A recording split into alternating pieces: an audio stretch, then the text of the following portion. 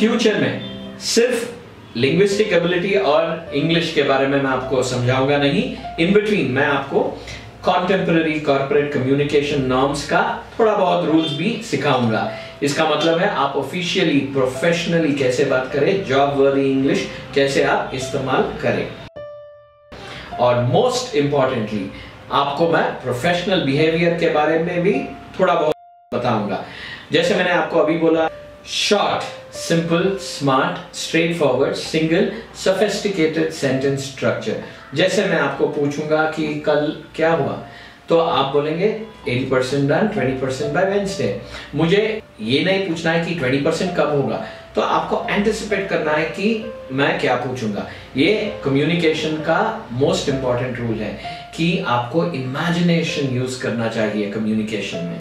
और मैं आपको बताता हूँ कि और क्या क्या सिखाने वाला हूँ। देखिए बेसिक इंग्लिश तो ग्रामेटिकली हम शुरू करेंगे, मगर यूसेज के बारे में ज़्यादा ध्यान देंगे। आपने अपना मदर टंग कैसे सीखा? आप बोलेंगे कि मैं बोल बोल के सीखा। नहीं, यही गलती सब लोग करते हैं। आपने बोल बोल कर कोई भाषा नहीं सीखा specially your mother tongue. The first step of language is always listening आपने सुनकर मदर टंग सीखा। चार रूल है L S R W listening speaking reading writing आपके घर में जो बच्चा है ना, वो बच्चा कैसे सीखता है एक मदर टंग वो एक साल से वो सुनता है। इसीलिए कोई भी बच्चा, मैं जाएँगे नहीं बोलेगा। वो हमेशा बोलेगा, मैं जाऊँगा, मैं जाता रहूँगा, मैं गया, मैं जा चुका हूँ, ऐसा बोलेगा। क्योंकि वो जानता है कि मैं जाएँगे नहीं आएगा। इमीडिएटली नहीं बोलेगा। थोड़ी झिझक तो होगी। मगर जब वो बात करेगा, वो सही तरीके से, वो ग्रामर का जो रूल्स है, उसे इस्तेमाल करेगा और ग्रामर के बियॉन्ड भाषा का समझ के ऊपर उसको एक ग्रिप आ जाएगा।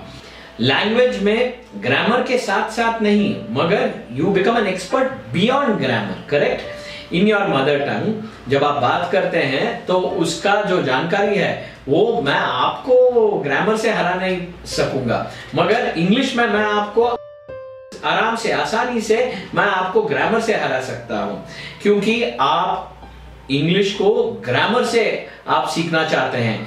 पहली बात तो यह है कि मैं आपको इंग्लिश ग्रामर से नहीं, मगर यूसेज से सिखाऊँगा। और दूसरी बात यह है कि जब आप खाना बनाना सीखेंगे ना तो आप क्या क्या सीखेंगे? सब कुछ एक ही साथ सीखेंगे आप? नहीं। पहली बात यह है कि अगर आपको खाना बनाना सीखना है तो मैं आपको फ़र्स्ट दाल, चावल, रोटी और सब्ज़ी बनाना सिखाऊँगा।